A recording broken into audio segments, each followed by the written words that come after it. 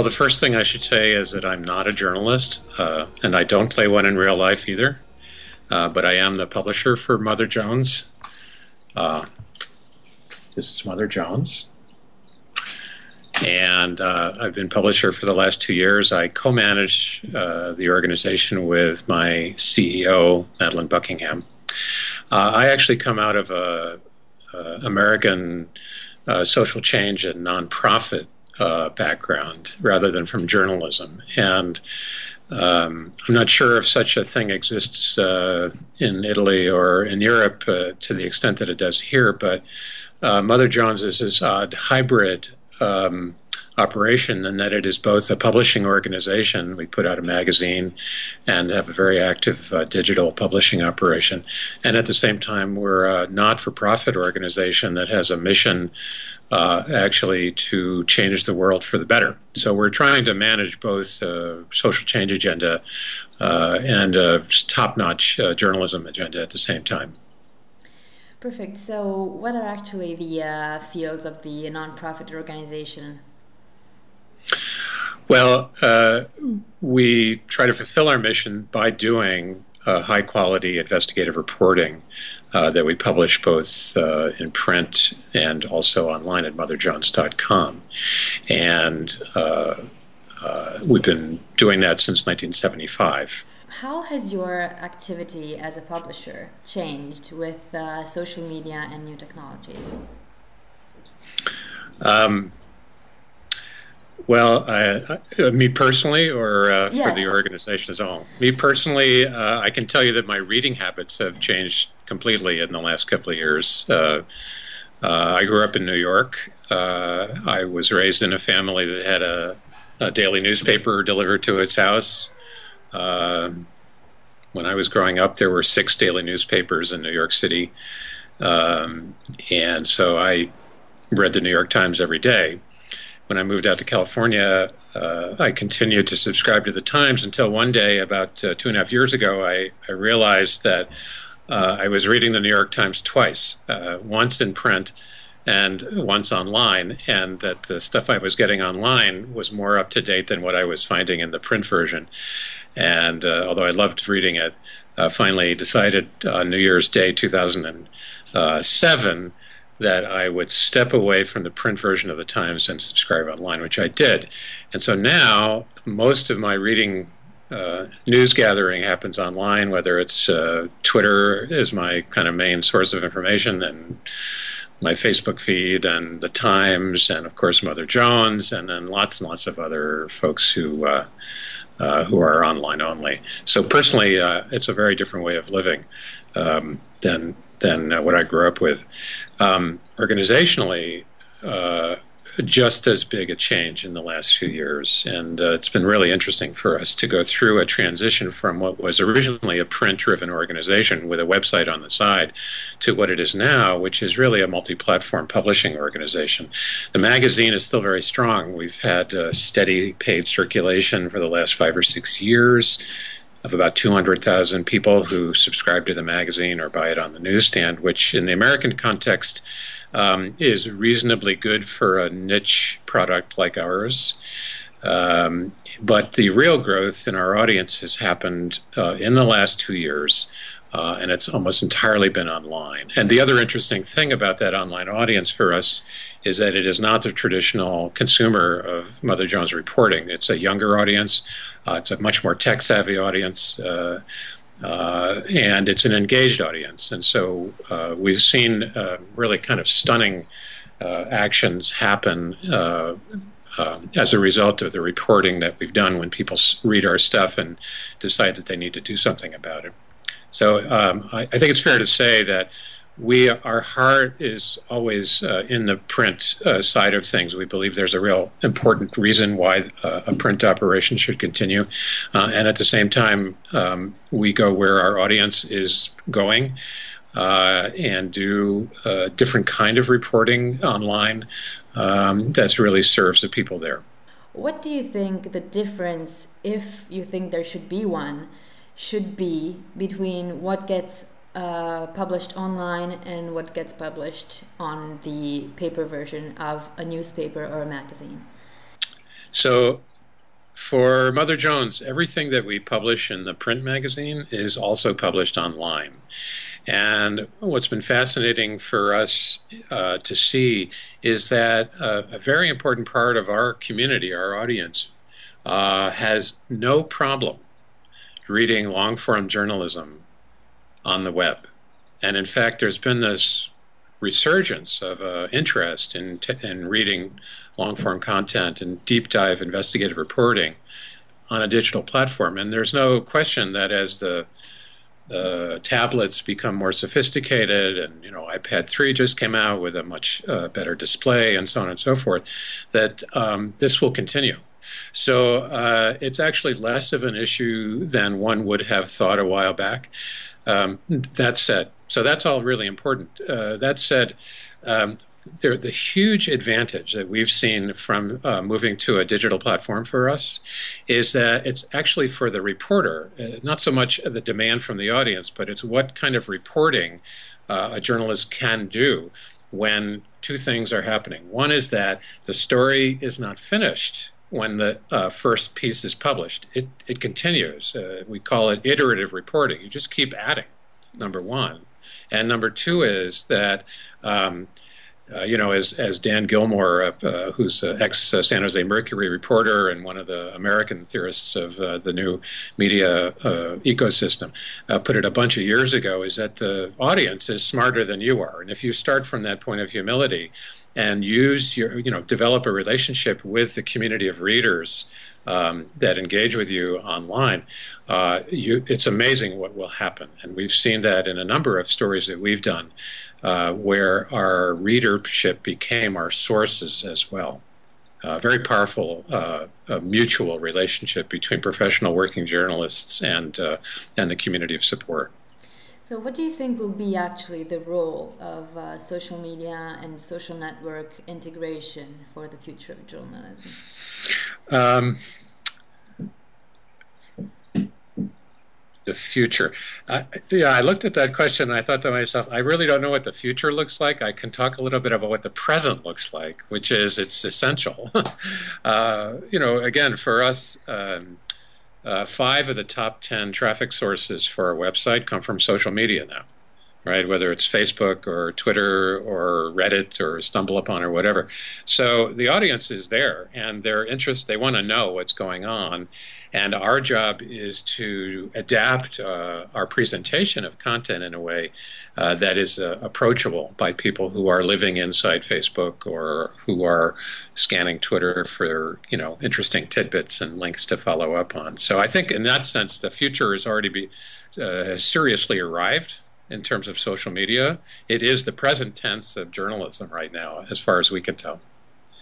I guess there, there's one there's one other thing I would say on that. Uh, Maria. Yes. Um, and that has to do with the the role of, of organizations like ours, which is not only to report the news, but to do it in a way that it contributes to positive social change um, without leaving the independent position of a working journalist. I mean, that, just to clarify, it's very important to us that the journalists retain their independence of uh, uh, perspective and ability to source their content properly. Um, uh, but but once that's done, and once they publish the story, the question becomes, well, what happens to it? And um, uh, our job, in part, is to make sure that something happens with the stuff that we think is important. And uh, what we've seen, again, in the past two to three years, is that traditional methods of moving a story out into either an activist community or to other journalists or people in the media uh, no longer work. And uh, increasingly, uh, social media is the pathway by which change uh, oriented work actually happens. One of the biggest, if not the biggest, issue um, Italian publishers, at least, at least the ones I've known so far, the biggest problem they have with this is that basically um, there's this idea that the news should be for free. So they are with uh, you know they have the problem of deciding whether to keep it free or to uh, get users to pay for it. But in, in that case, right. users actually become very fewer than if it were for free. You know, so that's right. the main question: How do you um, right. actually integrate that aspect? The uh, getting uh, you know getting the economical means to sustain your uh, activity. Right. So can I give you two answers to that? Two yes. different pieces. There's two different pieces of it, at least in the American context. You know, really beginning in the 1980s here in the United States, uh, the news business uh, began to experience a very intense process of consolidation. Uh, and, and that really took off in the 1990s when there were changes in national rules governing how many outlets uh, a single company could own. And so, on the one hand, the result is that nowadays there are six uh, six corporations in the United States that own the vast majority of cable TV, tele- network television, radio, uh, and print uh, and online uh, properties. And uh, so there's been this intense consolidation of ownership. Now, the means by which that happened was that the, this consolidation process was paid for by other people's money and highly leveraged debt. Uh, uh, came into play. The, the result, and, and the reason they thought that they could do this is because historically, metropolitan newspapers uh, that serve big cities had very high profit margins because they were the only player in town in terms of advertising revenue and and so they could charge a premium for that. And of course that worked to the advantage of the newsroom as well because there was this cross subsidy from uh, uh, advertising friendly sections of a newspaper like fashion and sports and gossip over to the news hall which was the harder stuff to sell advertising against. Well as a result of the change in technology, that expectation of double digit return rates on their investments started to fade away. And with that, the whole financial basis for this highly leveraged, highly indebted uh, consolidation strategy began to fall apart. And what we're seeing, I, I, I say all this because um, that's often forgotten in the discussions about the changes in in uh, in where people get their news from and what has happened here in the United States, at least with uh, with the media, is that it is a consequence of an investment strategy and a consolidation strategy, at least in good measure, uh, that has caused this problem. And so now we're faced with a problem, really, here in the states, which is, in general. Uh, I think it's fair to say that the American people are very poorly served by their news industry. Uh, the quality of the information that they're getting has declined. The the number of reporters has gone down tremendously, and and the news business. I just read this article uh, recently that the newspaper industry in the United States is the fastest declining industry of all here in, in the USA. Wow. So that's all by way of, of context, because then it comes to organizations like like us. So we had a different model right from the beginning, which was uh, to use the U.S. Uh, system of nonprofit organization uh, and nonprofit status, charitable status, to organize a, a mission driven investigative reporting organization back in the 70s, which was very unusual. Although there are some large magazine titles like National Geographic uh, and so on that have also been uh, uh, not for profit. anyway, the point is that what that did uh, was first of all, it required us as a not for profit to develop a relationship with our community of readers because our readers help support what we do. They make contributions to Mother Jones to help pay for the reporting. And we take that those donations in addition to the advertising that we sell and the subscriptions that people pay to purchase the magazine and put that together to support the kind of investigative reporting uh, and journalism that we do. As the commercial industry in the United States, the commercial news business in the United States has really uh, fallen away as a as a, a, workable business model. There's been more and more attention put to this nonprofit alternative. And so you have uh, uh, quite a bit of discussion going on here in the States about whether this is a workable uh, alternative. Uh, there's a lot of money going into it, and there's a lot of hope that this will be the, the solution. I, I honestly, I'm not sure that it is because I don't think it can get to the scale that um, would really fill the gap that the commercial business, news business used to have. But it plays a very important part, especially for expensive investigative journalism. So that gets to the, the paywall issue. That right. gets to the paywall issue because um, what we have actually are beginning to see with the first experiments in a in a paywall approach is that if you set up a hard wall, it's not going to work people will walk away. You won't be able to generate enough audience uh, uh, uh, money from your audience to make it work. But if you, and this is what the New York Times is really seeing, is if you develop a relationship with that group of people who really care about you, which is what the New York Times in our context, in our uh, context is really going after. They're going after the heavy-duty users of their content and asking them to to subscribe to get through this not a wall but it's more like a fence. You know there are ways to get around it. So they're not looking at the casual user. They're looking at the hardcore users and saying look you guys really believe in what we do. We are asking you to support that by subscribing to the digital edition of the new york times and make it happen. Well that sounds very very much like the nonprofit or public television, public media version of the donation ask. It, it's it's a matter of linguistics and not of practice that makes it different. So that would be the that would be the takeaway. I would.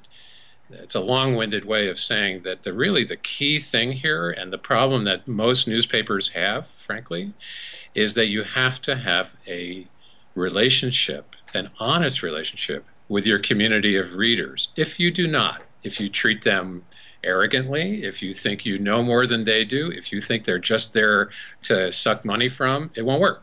It won't work. So that's that's my that's my theory of the paywall. You know, the Times had a paywall some years ago. The New York Times had a paywall up some years ago uh, that didn't work. Yeah. Uh, and so they took it down, and then they took two to three years to rethink how they were going to do this. They looked at what the Wall Street Journal was doing, they looked at what the Financial Times was doing, and thought, you know, the time, the Financial Times and the Wall Street Journal are highly specialized uh, newspapers uh, that um, they could probably get away with this very strict paywall arrangement, subscription arrangement. And the Times realized that as a general purpose newspaper, they couldn't do it. And so, again, using the metaphor of the fence rather than than the wall, there are ways in which you can consume Times content uh, and hack around the wall, no problem. It's kind of a pain, but you can do it.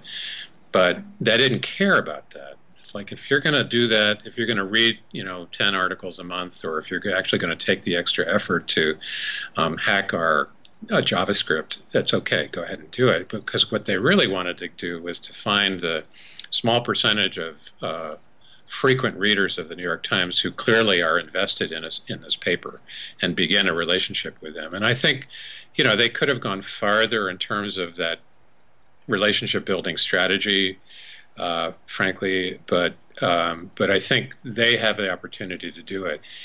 It's a it's an open question in the United States context whether regional papers have any clue about doing this. There are been there have been some very interesting experiments among um, a smaller chain of papers, but uh, the big chains, uh, I don't I don't see a whole lot of creative thinking there yet. I mean, our, again, in our situation, um, uh, so we give away everything for free, right? There's right. no fence. There's no fence, uh, and um, and like just about everybody else, we sell advertising against the traffic, number one, of course, but we also raise uh, donations online from our online readership.